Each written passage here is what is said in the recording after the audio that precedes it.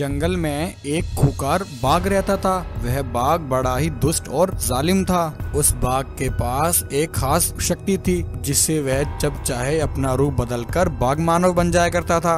वह बाघ मानव अपने इस शक्ति से जंगल के जानवरों को बड़ा परेशान किया करता था। वह किसी भी जानवर की छोटी से छोटी गलती पर भी उस पर कोई दया नहीं करता था। सभी जानवर उस खुकार जालिम बाघ से डरे डरे रहते थे। उस बाघ मानव का सामना करने की किसी की हिम्मत नहीं थी। जंगल के जानवरों के पास उसका हुक्म न मानने के अलावा कोई चारा नहीं था। एक दिन वह बाघ अपने जंगल में घूम रहा था। तब घूमते हुए अचानक उस बाघ को प्यास लगती है। तब बाघ पानी पीने के लिए तालाब की ओर निकलता है। कुछ ही देर में वह तालाब पर पहुँचता है। वहाँ पहुंचकर वह देखता है कि तालाब के पास कुछ जानवर मस्ती में खेल रहे हैं। यह देखकर वह खूंखार बाघ एक ज़ोर की दहाड़ मारता है। बाघ की दहाड़ सुनकर जंगल के सभी जानवर बहुत ज़्यादा डर जाते हैं और वहाँ से भागने लगते हैं। अरे भागो भागो भाई, अपनी जान बचाकर भागो। यह बाघ बड़ा ही दुष्ट और निर्दयी है। यह कब किसको अपना शिकार बना ले, कोई भरोसा नहीं। यह कहकर सभी जानवर वहाँ से भाग जाते हैं, लेकिन वहीं हाथी का एक बच्चा बड़ा ही नटखट था वह अपनी मस्ती में तालाब के पानी में खेल रहा था। वह हाथी का बच्चा दिखने में बड़ा ही सुंदर था। उस बाघ को वहाँ देखकर भी उसने कोई हरकत नहीं की, और वह अभी भी अपनी मस्ती में ही खेल रहा था। यह देखकर बाघ उसके पास गया और बोला अरे ओ हाथी के बच्चे, क्या तुझे डर नहीं लगता? मेरे यहाँ होते हुए भी तू इस तालाब से पानी पी रहा है। इस जंगल के सभी जानवर मुझसे डरते हैं। क्या तुझे अपनी जान प्यारी नहीं? तब बाघ की बात सुनकर हाथी का बच्चा कहता है, अरे बाघ भाई, इसमें डरने की क्या ज़रूरत है? मैं तो यहाँ सिर्फ़ खेल रहा हूँ। इसमें कौन सी गलत बात है? और इस तालाब पर तो सभी का हक है, जिसका मन चाहे वह यहाँ आकर पानी पी सकता है। अरे ओ हाथी के बच्चे, यह तालाब सिर्फ़ मेरा है। मेरी अनुमति के बिना यहाँ किसी को भी पानी पीने का कोई हक नहीं है। तू यहाँ से इसी समय चला जा, वरना तेरे लिए अच्छा नहीं होगा। बाघ मैं तुम्हारी धमकियों से डरने वाला नहीं हूँ। अगर तुम्हें जाना है तो तुम पानी पीकर यहाँ से जा सकते हो। मैं तो यहीं रहूँगा।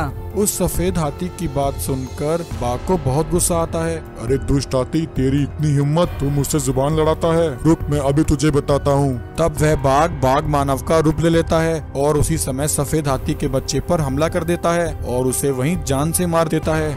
हा हा हा हा हा जो भी मेरी बात नहीं मानेगा वह इसी तरह मेरे हाथों से मारा जाएगा।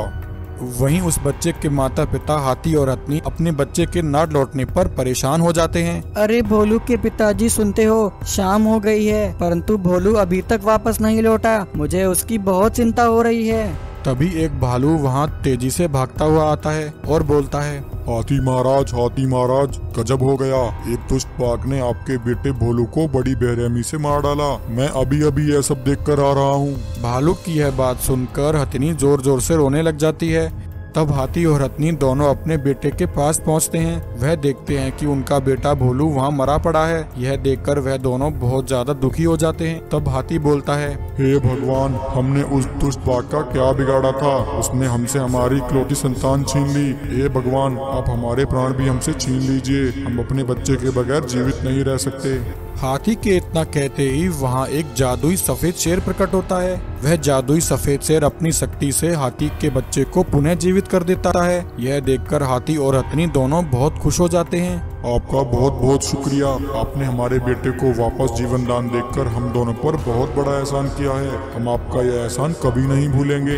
तब वह सफ़ेद शेर हाथी से कहता है हाथी, तुम मुझे बताओ, यह सब किसने किया है? तब हाथी सफ़ेद शेर को सारी बात बताता है कि यह सब एक दुष्ट बाघ ने किया है। वह बाघ बाघ मानव का रूप लेकर जंगल के जानवरों को परेशान करता है और जो भी उसकी बात नहीं मानता तो वह उसे जान से मार देता है। तब हाथी की बात सुनकर वह शेर उसी समय उस बाघ मानव के पास पहुँचता है और वहाँ जाकर उस बाघ मानव पर हमला करके उसे वहीं जान से मार देता है। उस बाघ मानव के मरने के बाद जंगल के जानवरों से उसका खौफ हमेशा हमेशा के लिए खत्म हो जाता है और फिर सभी जानवर हँसी खुशी वापस जंगल में रहने लगते हैं।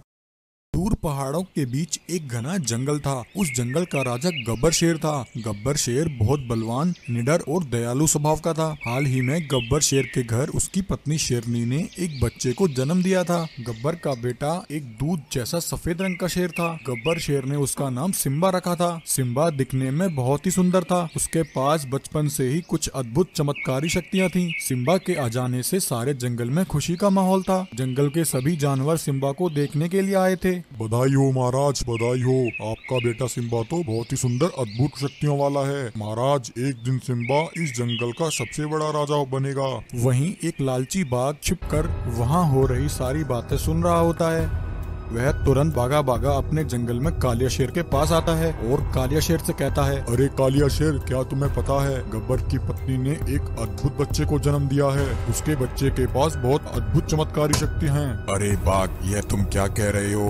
भला एक शेर के बच्चे के पास इतनी शक्तियाँ कहाँ से आई? हाँ कालिया शेर मैंने खुद अपनी आँखों से देखा है। उसकी अद्भुत शक्तियाँ देखने के लिए जंगल के सभी जानवर भी वहाँ आए थे। कालिया शेर गब्बर शेर तो हमारा सबसे बड़ा दुश्मन है। सोचो अगर इसका यह बेटा बड़ा हो गया तो गब्बर शेर पहले से दस गुना शक्तिशाली हो जाएगा। फिर हम दोनों का उसके जंगल पर राज करने का सपना कभी पूरा नहीं होगा। हाँ बाग तुम सही कह रहे हो। हम ऐसा नहीं होने देंगे। चलो, हम आज रात उसके बच्चे को उठा लेते हैं।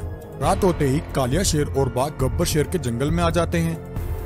वहाँ आकर वह दोनों गब्बर के बेटे सिम्बा को किडनैप करने की कोशिश करते हैं, परंतु तभी गब्बर शेर की आँख खुल जाती है। वह उन्हें सिम्बा को ले जाते हुए देख लेता है। अरे मूर्ख कालिया शेर, और बाघ तुम्हारी हिम्मत कैसे हुई? रात के अंधेरे में मेरे जंगल में घुसकर मेरे बेटे को चुराने की। रुको, मैं अभी तुम्हें बताता हूँ। गब्बर शेर, कालिया शेर और बाघ को मारने के लिए उनके पीछे भागता है। गब्बर शेर को आता देख वह दोनों वहाँ घबरा जाते हैं, और गब्बर के बेटे सिम्बा को वहीं छोड़कर वहाँ से भाग जाते हैं। अगली सुबह गब्बर शेर अपनी पत्नी शेरनी को यह बात बताता है। गब्बर की बात सुनकर उसकी पत्नी कहती है, गब्बर, मुझे बहुत डर लग रहा है। कहीं वह दोनों दुष्ट हमारी बच्चे को फिर से चुराने की कोशिश न करें। नहीं शेरनी, तुम बिल्कुल भी परेशान मत हो। वह दोनों अब ऐसा करने की कोशिश नहीं करेंगे। अगर उन्होंने फिर से ऐसा किया तो मैं उन दोनों को जान से मार दूँगा। ऐसे ही एक दिन गब्बर अपने जंगल में घूम रहा होता है। तभी अचानक कालिया, शेर और बाघ घात लगाकर गब्बर पर हमला कर देते हैं और अकेला पाकर गब्बर को बुरी तरह घायल कर देते हैं। वह दोनों गब्बर को अपने जंगल में लाकर एक पिंजरे में कैद कर देते हैं। गब्बर शेर, तुम्हें क्या लगा? हम दोनों शांत बैठ जाएँगे। तेरे बेटे सिम्बा को हम दोनों से कोई नहीं बचा सकता। बाघ तुम इसी समय गब्बर के जंगल जाओ और तुम्हें पता है मैं वहाँ जाकर क्या करना है। बाघ गब्बर शेर के जंगल में आ जाता है और वहाँ आकर वह शेरनी और जंगल के सभी जानवरों को गब्बर शेर के मरने की झूठी खबर बताता है और सबको बताता है कि गब्बर शेर की एक पहाड़ी से गिरकर मौत हो गई है। यह सुनकर गब्बर की पत्नी शेरनी बहुत दुखी हो जाती है।